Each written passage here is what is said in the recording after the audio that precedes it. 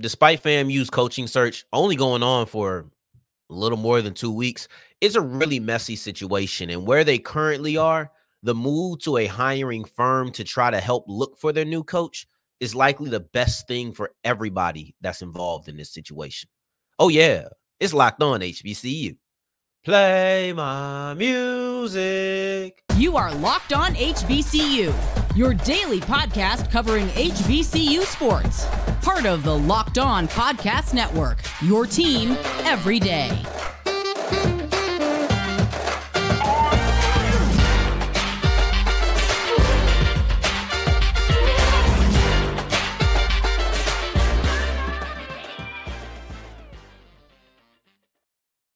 What's going on, family? Welcome back to another episode of the Locked On HBCU podcast, your number one daily one stop shop for everything HBCU athletics, Monday through Friday, part of the Locked On podcast network, your team every day. And I, of course, am Darian Gray, aka the Mouth of the South, Texas Southern alum and former TSU Herald Sports editor and current contributing writer at USA Today's Saints Wire. Thank you for going on this journey with me. Make it locked on HBCU, your first listen of the day every day. And remember, just because the mic cuts off, and it will cut off, doesn't mean that the journey is over. It just means it's time to follow me on Twitter at South Exclusives. Starts with an S and ends with an S. Today's episode is brought to you by FanDuel. Make every moment more when you go to fanduel.com slash locked on to get started. And right now, all new customers will get $150 back in bonus bets, win or lose on any $5 bet. So it's quick and easy for you. We wrap up today's episode, and we're all over the place, to be honest. We wrap up today's episode with an app that is being created or has been created and continue to being tweaked by a St. Augustine professor, and it has a high ceiling for a lot of our athletic programs and sports. Now, before that, we'll look at Norfolk State offensive coordinator or former offensive coordinator at this point because he is now with the University of Buffalo as their running backs coach. And I would love to know if you have the same reaction to that tagline that I did when I read it at first. But before any of this, FAMU is currently the biggest story in HBCU athletics. A lot of it has to do with the fact that it's a football story, but also a lot of it has to do with the fact that it's messy. Controversy sells. This is a lot of drama involved. And when you not just look at what needs to be done, look at all the things that have been done. The decision to go to a hiring firm to help hopefully ease this decision on who's going to be their new head football coach, in my opinion, is the smart call for all of the parties, right? Whether you're looking at players, alumni, Tiffani-Dawn Sykes, and then maybe even the coaches themselves who, I don't know, they, they probably want to get this over with. They probably don't want to wait, and they don't need to wait. You have National Signing Day that's three weeks away. We need to get this done. If you're it, like the the emphasis to be get it done quickly. If you're FAMU, now the reason I say that this is the best, and I know some people might say, no, hiring somebody from within the program is the best. This is about the process. And it's not as if a hiring firm disqualifies what you want. You might not get it as fast as you possibly could, but it does not disqualify what you're looking for. And if James Colzie, Billy Roll, whoever is truly the best candidate, you will eventually get what it is that you were looking for. Now, one of the reasons that I think that this is necessary, not just is a good idea, this is necessary. You got to remember, you see the flag behind me? That's Texas Southern. I know about compromise. I had Fred McNair and Andre Johnson on the line. Neither one of them uh, got the job.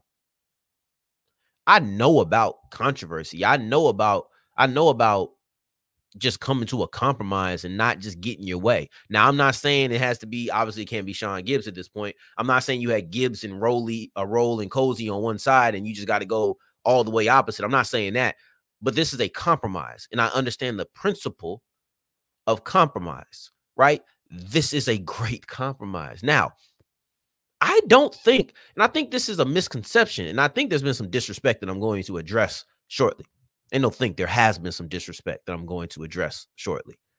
I don't think that Tiffani-Dawn Sykes has done a terrible job managing this this uh this coaching search. I'll be honest with you. I don't think she's done a terrible job managing. And I don't know how many people feel like she's done a terrible job managing. I think people feel she did a terrible job picking, which is completely different, right? It's like I said at the top, we're looking at the process, not the selection. This is great for the process because despite the distinction I try to make between management versus selection, the truth is it's all bundled up into one and it's coaching. It's, it's just the hiring. That the hiring in general is the selection, the process, everything. And one thing she did mess up with was she didn't communicate well. And I do think that that is something that is a big deal. I will not downplay how big of a deal communicating is, especially to some of the people who are donors, to your alumni, to people who really care. They want a little bit of transparency. They weren't able to get it. I understand the frustration. However, outside of that, her biggest flaw is picking somebody that the school didn't want. That's not a crime. That should not be treated the way that she has been treated lately I feel the need to put a hard stance against this. Recently, recently, somebody, I'm not even going to mention the name, but if you're on here, I'm sure you know. Somebody recently mentioned that she lives down the street from the school. That is absolutely unacceptable. That is dangerous. That is inappropriate. And that's disrespectful. I don't know what the intentions were. I, I know that it was connected to her her tardiness or whatever, that is unacceptable. I do not care the reason. In the simple fact that it has gotten this far, the simple fact that we have gotten to the point where we're talking about her habits and where she stays, in in even if you didn't have the forethought to not do it, it still should be deemed reckless. It's still dangerous. The fact that we've gotten to this point is the exact reason we need a, a hiring firm. Many people feel like AD Sykes is on a an ego trip or some sort. I don't know. I don't know. I don't know if I can necessarily say that. Don't know if I can necessarily disagree with it. So I will leave it up in the air and I will not contradict nor reaffirm that. But what I will do is say if you feel like she's on an ego trip, and I definitely feel like there's a lot of emotional investment, if only and, and maybe I'm letting that one person uh cloud my judgment, but I hear how it is. I hear the conversations about AD Sykes. Like, and I, it, it doesn't make me comfortable. I'll be honest with you. It feels a little too much. And no, I'm not playing the gender card. It just makes me uncomfortable, period. Like, I, I don't need to play the, the, the card where people, are, it's not because she's a woman. I don't care if it's because she's a woman or not. It's uncomfortable to me. And I want it to stop. I want it to stop. I'm just to be honest with you. Right. Now, with this hiring firm, AD Sykes can say, because it's clear she does not want to go in house.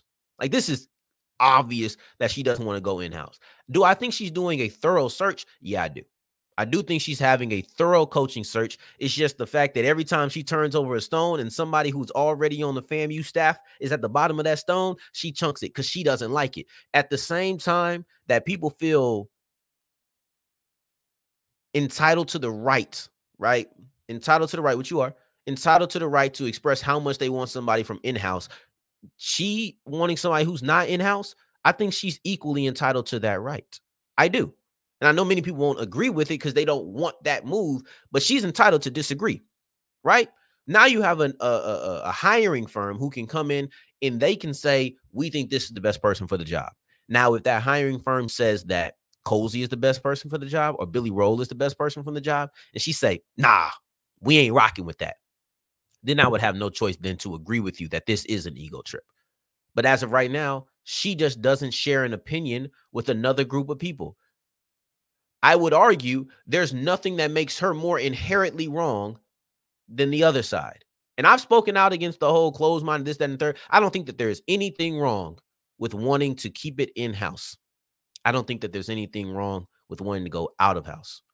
I think that you're allowed to disagree, but I don't know if there's just something just at the core of it all that's wrong. We won't know what's the right decision for years down the line when we see at whoever this coach is how they trans uh how it all transpires. That's when we'll know. But as of right now, to take everything out, get a neutral party who can come in and will foster communication with the alumni with the with the committee. They will be able to talk and they'll be able to hear their input. They'll hear from Dawn Sykes and then they can make their own decision and they can report back. At the end of the day i do believe it's still going to be Tiffani-Dawn Sykes' decision on who's going to be the call but she should heavily lean into what the hiring firm says. And if the hiring firm says it's somebody from out of the program I think that alumni have to accept that unless we're going to start calling foul play. And I'm not ready to do that. Are you? One thing I am ready to do is to move on and go into Norfolk State's former head coach, or excuse me, former offensive coordinator, who is now a positional coach, specifically a running backs coach on the FBS level. I think there's some similarity. Wink, wink. I think that was a terrible wink. I think that was terrible. I hope that you're on the audio side so you didn't have to hear that or see that atrocious attempt of a week.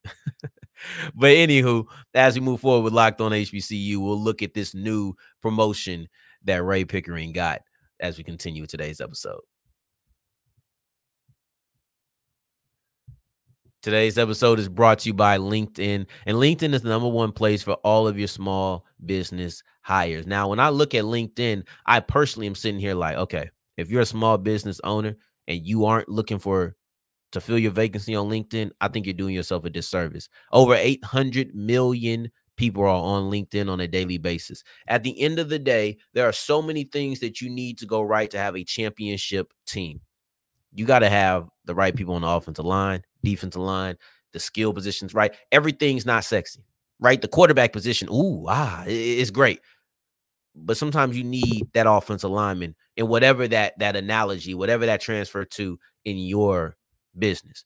Go ahead and get you some offensive alignment. Go ahead and get you some defense alignment. They said that's where you build the teams at anyway. But in order to do that, you have to go to linkedin.com slash locked on college and you'll be able to post your job for free, not a cost to you. Only thing it's going to take you is a little bit of time, but it's not going to take you any, any, any amount of money. So go to linkedin.com slash locked on college. That's linkedin.com slash locked on college. Today's episode is also brought to you by eBay Motors. Now, eBay Motors is great if you need to fix up your car. It's great if you want to just add a little extra to your car. I think that, of course, you want to keep your car running, but you probably don't just want to get from point A to B. That's something your folks told you when they gave you your first car that wasn't that nice, right? Now, now you you're able to get your own vehicle, and you don't want something that's just point A to point B. You want to get from A to B and look good while doing it. So whether you need an alternator in order to get yourself from point A to B, or maybe you want some new wheels, maybe someone wants some new tires, all you have to do is go to the My Garage section. Put your car into the My Garage section, and everything that pops up will be guaranteed to fit for you, right? They have the 100% guaranteed fit in the US only. Well, all you have to do is go to ebaymotors.com. That's ebaymotors.com to keep your ride or die alive. As we continue rolling on today's episode of Locked On HBCU, I appreciate you for making this your first listen of the day every day. For your second listen, make sure you're checking out Locked On Sports today. No matter the time, whether it's 5 a.m., 5 p.m., it's 24 7. First of its kind, first ever 24 7 sports network on YouTube. So go ahead and tap in and check that out. Now, let's look at Norfolk State's former offensive coordinator, Ray Pickering, who is now the University of Buffalo's running backs coach. And it was only a year that it took for people to recognize his talent. Now, what I will not do is boil down his journey strictly to Norfolk State. It's just the most recent place that he's come from. It's just the most recent addition to his resume. And his resume is thick. All right, let's let's get that out the way. His resume is impressive. It looks good when you look at exactly what it is that he's done. He was previously an offensive analyst at the University of Texas, but I feel the need to break this down a little bit farther and beyond just the college ranks. And we'll get to that at the very end. So he's recruited a top five recruiting class. He posted this on Twitter. I I love when people talk, they talk, right? Like, uh, forget all this. Sometimes I got to talk my talk. And this is a situation where he does it. Put your resume up, promote yourself, love yourself. Now, he's recruited a top five recruiting class. And I think it's well documented that I value a good recruiting class. Um, though that's not what he's going to be doing here, more likely than not. He might have a part of it, but the only people who probably be recruiting is the running backs.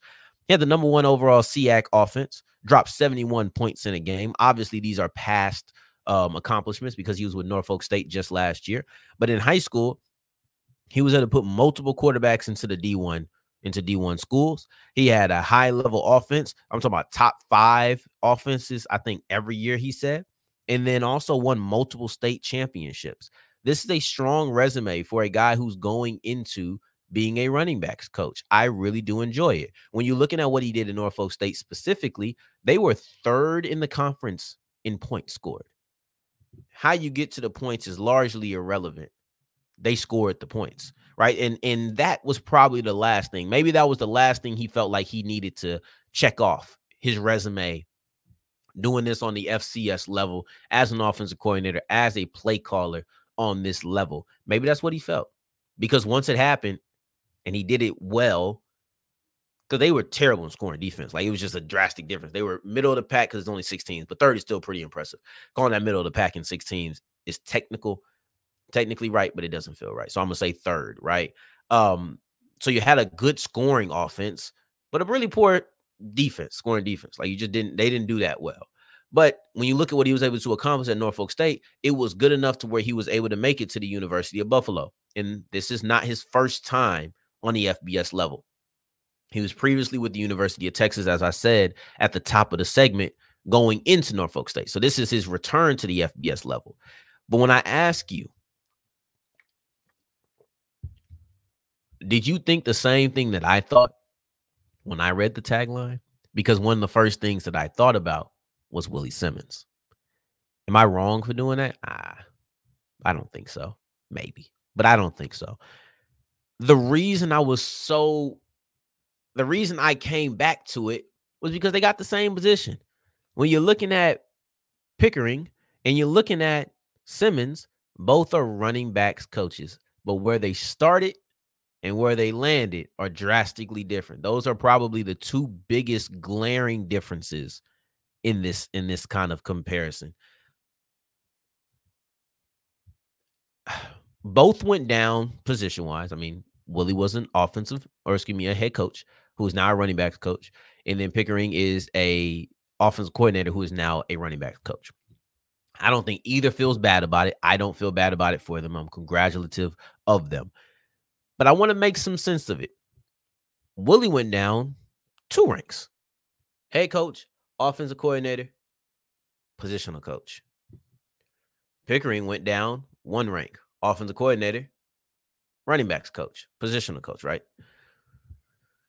It also aligns with how much they jumped. I know that the FCS and the FBS are only one away, but let's be honest with you. The Power Four, which is so disgusting to say, but now that the Pac 12 is RIP, yeah, yeah, it's the Power Four at this point. It's just four real big conferences: the ACC, the SEC, the Pac, uh, the Big Twelve, and then also the Big Ten. That's it. That's it right now. Um, there's a difference between a power four and a group of five. That's just real. It's an invisible distinction, but it is very prominent when you look at it. The group of five schools gets no love, right? In the words my boy Zero, all y'all still get no love. All you get is a you know what. But that's the way that I look at this you have FBS, but this is divided into two things. The same way that FCS is de- is technically D1. Technically, the FCS is a D1 university, but we know good and doggone well that they ain't looking at Alabama State the same way they're looking at the University of Alabama, despite them both being D1. There's just a physical distinction between FBS to FCS, but in the FBS, you go group of five versus power four. It's a difference. So in a way, Willie went up two ranks. I just and I think that rationalizing or attempting to rationalize something that you don't agree with is always kind of fun because I like trying to see the reasoning behind what people do. Honestly, I think that the relationship with Manny Diaz is the reason that Willie went. That's just how I feel on it. But overall, it does make you wonder if Willie could have waited, which is what I wish he would have done because I really think he could have leveraged himself into an offensive coordinator position. I really do. I really do. But at the end of the day, he made the decision for him that I think allows him to get one step closer to his goal. Even if it didn't move at the at the pace I wanted to. I'll never disagree with that man for that. Do your thing, Willie. I'm proud of you. I'm happy for you. Same to Ray Pickering. I'm proud of you and I'm happy for you. So, congratulations to both of those gentlemen. I just want to compare those situations because it didn't make me think of it. And I wondered if it made you think of the same thing. Now, as we move forward, the St. Augustine professor, Mark Janis, right? Dr. Mark Janis at that, has developed an app that I think has a, a, a really high ceiling when it comes to HBCU athletics. Let's explore that as we continue with Locked On HBCU. Today's episode is brought to you by FanDuel, and FanDuel is the official sports book of the Locked On Podcast Network. Now, we got football. I just had this random feeling. I was scrolling through the blue app. I guess it's not the blue app anymore. I was scrolling through the black app. I was scrolling through X, Twitter, social media, whatever, and I saw DeMeco Ryans coaching up Christian Harris, and I just got this random gush that the Texans are going to do it. If you feel anything like me, go ahead and put a five dollar bet on the Texans. Maybe you don't. Maybe you feel like the Ravens gonna do it. Put down a five dollar bet on the Ravens, and no matter who comes out victorious, if you put down that five dollar bet, win or lose, you will get hundred and fifty dollars back in bonus bets if you are new to FanDuel. It's just that simple. Go to fanduel.com slash locked on. That's fanduel.com slash locked on. And it's a very simplistic thing for you. Put down a $5 money or put down a $5 bet, get $150 back in bonus bets. Whether that's on the NFL playoffs, a regular NBA game, the NHL, uh, what else is in? Uh, college or uh, college, college basketball. There we go. Any and everything. Go to fanduel.com slash locked on and make every moment more. As wrapping up today's episode of Locked On HBCU, I appreciate you for making this your first listen of the day every day, making it all the way to segment three. And I thank you two times for that. Now, a St. Augustine professor has developed a an app that I believe has a high ceiling and a high usage rate for HBCU athletics. And I understand that a professor doing it, granted, St. Aug is a is a uh I've never heard anybody call it St. Aug. I just that, that that's that Louisiana high school. That's the only one. I don't know. It sounds right though. I'm, I'm gonna call St. Augustine because I don't want to be disrespectful. Um, but there's a high school in Louisiana called St. Augustine. Everybody calls St. Aug. So that's just naturally it came out. Anywho, St. Augustine is is an HBCU, but with it being a professor, you're like, well, what does this have to do with athletics? Well, its usage would be big for athletic programs to be an, a content hub, as as Janis called it, right? And as a person who deals with this on a daily basis, I'll tell you that I believe this is the problem. I think that the amount of information that gets out about HBCU athletics is a problem, and, and not in a way where it's too much information. It's not enough. It's not enough information. Um, I'll read this quote by Janis. He said, Our hope is to develop a content base with 50 plus HBCUs by the end of the year. It's just the beginning of the year, so it's a good good goal, right? Um, 50 plus HBCUs by the end of the year, along with a few marquee sponsors and a batch of local advertisers that will generate revenue for all participating schools. By next year, we want to train the majority of participating HBCUs to also function as their own media hubs. Now, what that means, you know, was further explained, but it's not as important to this. I love it because there are a lot of sports at schools that just don't get much publicity, period. But when you're looking at HBCUs, I would argue that a lot of schools don't get publicity, period. As a person who's constantly looking up what's going on in places, it should not be as difficult as it is. It shouldn't. And I everything doesn't need to be hard. Everything doesn't need to be difficult. Like some things can just be easily digestible. Right? And I think that I think that that's something that has been forgotten. And shout out to the national brands who are covering a bunch of HBCUs. I understand. They can't, we can't, because I'm I'm one of them. We can't get everything. Right. But with an app like this, and the app is called Skoolcast, S K O O L K A S T. I'm gonna for sure get it because it's just like Outcast, right? And I actually was just wearing my Outcast shirt yesterday. So um I gotta go ahead and get that. But for me, it feels like information is a free for all. Centralize this information, put it everywhere. Put the volleyball information out there. Put the golf information out there. Put the bowling information out there. It's not just men's basketball in the spring. Go put track and field. Put everything out there and just allow the people to sift through what they want.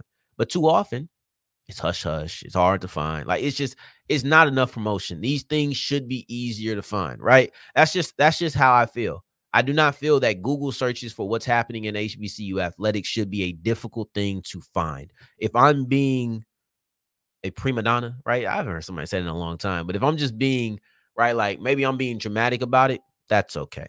That's how I feel. I think it puts a large amount of responsibility on the schools, but I also think it's good because people want to keep up with HBCUs. There's there's people who are HBCU fans, not just their alma mater, but an HBCU fan. That person should be able to go through and and find something like this. Go to Schoolcast and be like, well, what's going on in St. Augustine? What's going on in Virginia Union? It's not easy to find stories about those schools, right? I'm just I'm just letting you know. Maybe I want to see what's going on with FAMU. What it what it like I want to see what's going on with the school like Mississippi Valley State. You don't be hearing anything about Mississippi Valley State. This is facts. All right. So I think that this school cast app has an extremely high ceiling. I'm not going to say it's great already. They're still tweaking it. He's doing it with his students. There, I like the fact he's doing it with his students. But overall, you got to look at it and say, Content Hub, all right, I can put all these things for my school, promote my school, and maybe even make some money off it, be able to monetize my content this is a place that I want to be. I think that it was great and I wanted to highlight it. I know it's not feature Friday, that's tomorrow, but I wanted to highlight this on tomorrow's episode. We are going to get to the CIAA and then the SIAC week zero options now that it's allowed for D2 schools to actually play a game that week. And we'll look at our feature Friday, which will be the Houston Oilers to HBCU coaching pipeline. Now that's interesting to me. And we'll do that on tomorrow's episode. In the meantime, in between time, if you're looking for me, you can find me on Twitter at South Exclusives. Until the next time that we hear each other, family, take care. Stay blessed. Peace.